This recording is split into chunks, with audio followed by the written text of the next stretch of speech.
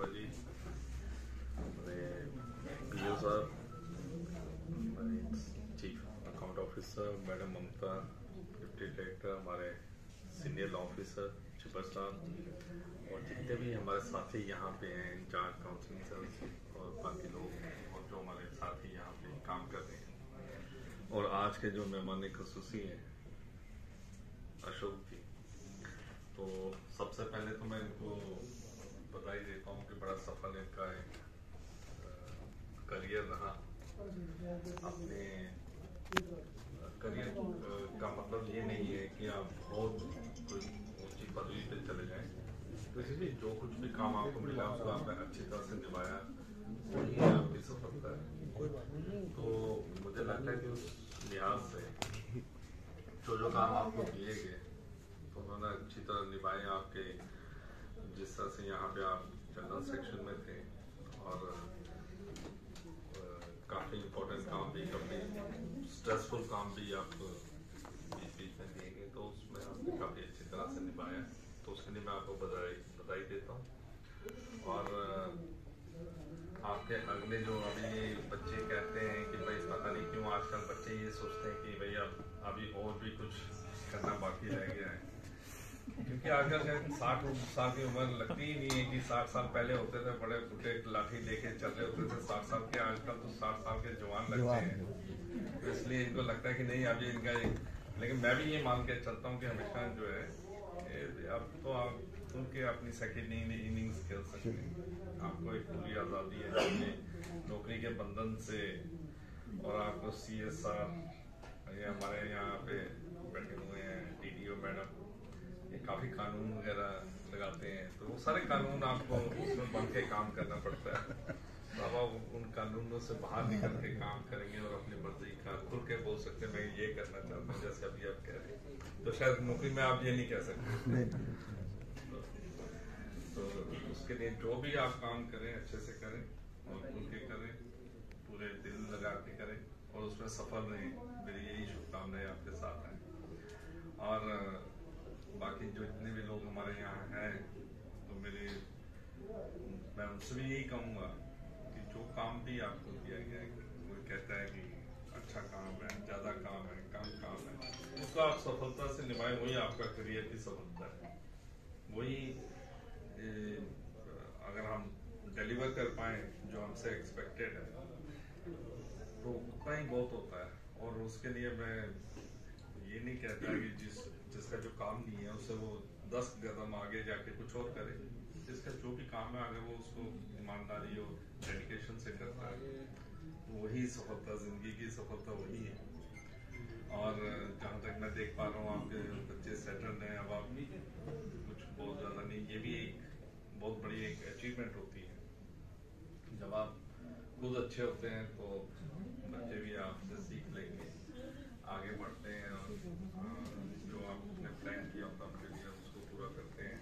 और खुद अपनी उसके बाद वो एक दिन आज़ाद हो जाते हैं कुछ भी अपनी जो चाहत होती है उसके हिसाब से चलते हैं।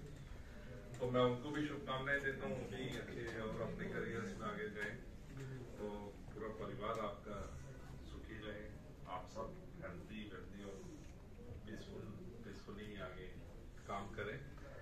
तो आ,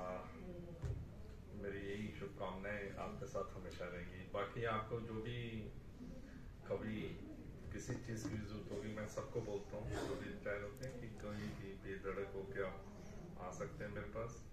कभी भी आ सकते हैं। मैं यहाँ हूँ तो भी ठीक है, नहीं हूँ तो भी जहाँ पे भी जाऊँगा, आप कभी भी आ सकते हैं। और किसी चीज़ की भी कोई परेशानी आए तो उसमें अगर मैं कुछ कंट्रीब्यूट कर सकूँ तो मेरा सौभाग्य होगा।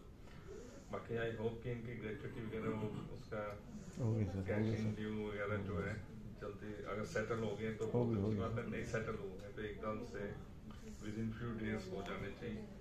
अगर डायरेक्टरेट में रखे इतना नहीं कर पाए तो फिर यहाँ रहना बेकार है। तो इसलिए इमीडिएटली दस पंद्रह दिन के अंदर अंदर जो कुछ भी है सारा सेटल हो जाना चाहिए। और होपफुली मेरी भगवान से यही प्रार्थना है। कि आप जो भी काम करें उसमें सफल रहें और बिल्कुल हेल्थी रहें। Thank you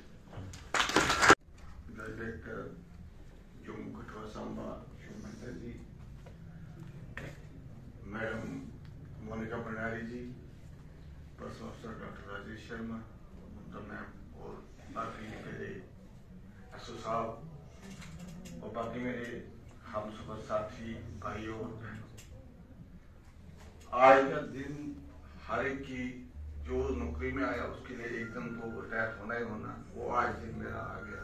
तीस, ग्यारह, तीस सौ बाईस। सैंतीस साल, ग्यारह महीने और तेईस दिन मैंने एजुकेशन डिपार्टमेंट में दिए। सात, एक पचासी को मैंने ज्वाइन किया था as a junior student in high school साठ ग्रेजुएट मुझे तो लगता नहीं मुझे सैंतीस साल हो गए मुझे तो लगता मैं कल ही ज्वाइन किया ऐसी मेरी फीलिंग्स है। सैंतीस साल मुझे पता नहीं चला कि कैसे निकले। पता नहीं इसमें भगवान की कृपा से क्या मेरी कोई अंदर की कोई ऐसी कोई मेरे हर एक से कभी ज़िंदगी का कोई मतलब कोई कमी अपने पास नहीं ली, या किसी को मैंने कोई दुखी नहीं किया, कोई नेगेटिविटी किसी में नहीं ने सबको दी थी मैंने। ये मेरी एक लगता मुझे ऐसी बात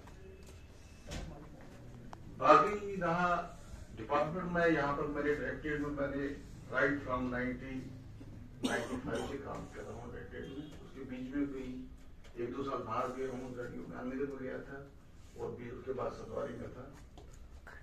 यही काम किया मैक्सिमम पीरियड मैंने इसी डायरेक्टरेट में काम किया और इस बिल्डिंग का मुझे हर एक एक ईंट का पता कौन सी ईंट कहाँ पर लगी है। जब ये बिल्डिंग बनी थी एक्स डायरेक्टर हमारे दुनिया में नहीं है, प्रोफेसर आर के छिबर जब भी वो यहाँ आते थे, हमें साथ ले आते थे, भाई जरा देखो इसमें कितने काल ईंट लगी है कि नहीं, ये नहीं लगी। जब लैंड इस डायरेक्टर की हुई थी, इसको भी हम आए थे देखने के लिए लैंड के लिए भी देखने गए थे। चलो, अब इतना समय हो गया, अब सब दोषी हो गई हमारी इस डिपार्टमेंट से। बाकी बहुत अच्छा रहा। मैं आप जो मैनेजमेंट कमेटी आपकी जो जो ना आपने इज़्ज़त, मान मुझे दिया। मैं इसके हकदार तो इतना लगता नहीं था मुझे, लेकिन जैसे ममता मैडम ने आज बोला कि जब आप यहाँ की तैयारी कर रहे थे, मुझे याद है तक मैक्सिमम रिटायरमेंट यहाँ मेरे हाथ से हुई है और हम भी उस मैनेजमेंट कमेटी में थे। मैं, हम भी हमारे मन में ये सोच रहे थे कि जब हमारी रिटायरमेंट होगी, क्या पता हमें कोई चाय बुलाने के लायक भी होगा। लेकिन ऐसी बात नहीं है। सब ठीक ठाक हो जाएगा। एक आपकी पॉजिटिवनेस होनी चाहिए। और सबसे हंसमुख के बातचीत करो, कोई किसी को दुखी मत करो। बस यही बात है। बाकी ये कह रहे थे, आगे आपका फ्यूचर प्लान क्या है?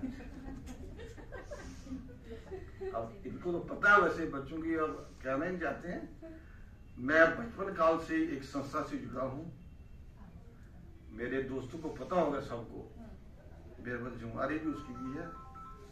उसी संस्था के साथ मैं जुड़ा हूँ। आज के बाद भी वो संस्था मेरी राष्ट्रीय स्वयं सेवक संघ है। उसमें मेरे पास जुमारी भी पड़ी है नगर की जुमारी है। उसके साथ में मैं पहले थोड़ा समय देता, पहले एक घंटा देता, सुबह देता था, अब उसके बाद चार घंटे दे दूँगा। बाकी मेरी फैमिली, मेरी दो बेटे हैं ये भी अपनी जॉब कर रहे हैं। एक पूना में, एक दिल्ली में मिसेज भी जॉब कर रही है। ये है मेरा बस। डिपार्टमेंट का ये और मैं सब, आप भाई और बहनों का सबका शुक्र थैंक्स और मैंने आज यहाँ के जाने के बाद आप सब मेरे साथ चलेंगे। मैंने लंच का एक प्रोग्राम रखा वहाँ पर। आप मेरे साथ लंच करेंगे। आपका बड़ा बड़ा thank you so kind of you joint director madam CO madam PO sir और हमारे लॉ ऑफिसर चिबर साहब। और हमारे आज के जो स्पेशल गेस्ट हैं, अशोक दर साहब, जो जिनकी आज रिटायरमेंट है, और हम सब इकट्ठे यहाँ पे इनकी रिटायरमेंट की इनको विदाई देने के लिए यहाँ पे एकत्रित हुए हैं। तो मैं आप सबका यहाँ पे स्वागत करती हूँ, आपकी परिवार का जो यहाँ पर आए हैं, और आप सबको यही कहूँगी कि ये तो एक रिटायरमेंट जैसे कि कहा कि एक part and parcel of life है, कि अगर हम ज्वाइन करते हैं तो हमें रिटायर होना हमारा जो दिन है, वो निश्चित हो जाता है। तो दर साहब के साथ मुझे भी यहाँ पे इस ऑफ़िस में चार साल हो गया है तो इनको हमेशा हमने हँसते हुए देखा। जब भी इनको ऑफ़िस में बुलाया तो जब भी मेरे को कोई काम पड़ता था, इन्होंने आर का बड़ा काम किया, जो भी कोई इश्यूज़ होता था, या कोई भी हमारे पास कोई रिप्रेजेंटेशन आती थी तो जब भी इनको हमने ऑफ़िस में बुलाना इन्होंने हँसते हुए हमेशा उसी क्षण, उसी टाइम ये नहीं कि मैं आधे घंटे तक घंटे तक नहीं। और हँसते हुए आना, जी मैडम जी मैडम करके, इनका जो ये नेचर है और ये जो स्वभाव है, ये बहुत ही तारीफ़ करने के काबिल है। ये बहुत ही एक नेक, अच्छे इंसान है, जो हमने, मैंने चार साल में देखा। बाकी तो पकरू सर ने जैसे कहा कि जब उन्होंने ज्वाइन किया, इन्होंने इनके साथ मतलब जैसे इनके साथ उनका ज़्यादा टाइम व्यतीत हुआ। मतलब मेरे साथ तो चार साल में मैंने बहुत अच्छा इनको मतलब देखा है कि ये हमेशा हँसते हुए मिलते थे विश करते थे अच्छे से। बट एक बात का दुख है कि जब हमारा कोई यहाँ से कोई रिटायर होके चला जाता है तो दूसरे दिन मतलब वो जगह हाँ उसी जगह कोई और आ जाता है, मगर उनका जो जगह है, वो कोई ले नहीं पाता। तो ये तो एक तो इट्स मैंने पहले कहा कि पार्ट एंड पार्सल ऑफ़ मतलब हमारी एक ज़िंदगी का एक मोड़ ऐसा आ जाता है जब हमें रिटायर होना पड़ता है। तो मैं तो यही कहूँगी कि इन्होंने बहुत अच्छा टाइम यहाँ पे निकाला, हमारे साथ बहुत ही अच्छा जो समय निकला इनके साथ। तो बाकी मैं इनकी यही कहूँगी कि रिटायरमेंट के बाद भी जैसे इनके अभी सुपुत्र जी ने कहा कि अभी हमें यही नहीं पता कि इन्होंने करना क्या है। मैं कहती हूँ कि सुबह उठ के योगा करो, पूजा पाठ करो, वैसे ही बहुत एक्टिव है। योगा करो फिट इंडिया मूवमेंट वो हमारे चलते रहते हैं आजकल। तो गोविंद जी का वो ऑनलाइन करो, छोड़ो मत ग्रुप नहीं छोड़ो। ग्रुप ज्वाइन करो। ग्रुप को जारी रखो और वो करते रहो योगा करते रहो, पूजा पाठ करते रहो।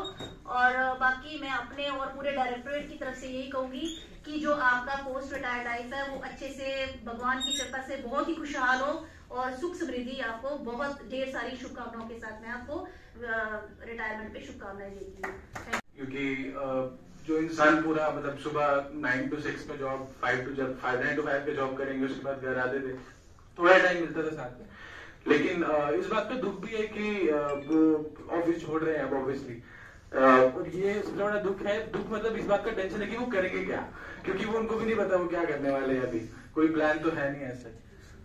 तो because it's it's it's always about how busy you are and how engage you are with people तो बस एक एक चीज़ एक मैं शेयर करना चाहूँगा, थोड़ा सा फनी इंसिडेंट है। तो ऐसा होता था कि भैया ने हमेशा से स्टेट बोर्ड से ही पढ़ा है। तो भैया जिस भी स्कूल में जाते थे, सब टीचर पापा को जानते थे पहले से ही। तो इनके लिए बहुत प्रॉब्लम होती थी कि ये जो भी करता था, सब पता चल जाता था पापा को। तो that was a big problem अब मेरा सेंट्रल स्कूल था, मैं सीबीएसई में था तो वहाँ भी पापा के जान पहचान के लोग निकल जाते थे। तो मेरी सारी इन्फॉर्मेशन इनके पास होती थी। So that was a thing but then ये अच्छी चीज़ है कि पापा ने रिलेशन अच्छे बनाए हैं। And it's all about experiences and relationships जो उन्होंने अच्छे बनाए हैं and that's that's what she has taken with him so that's what I want to say thank you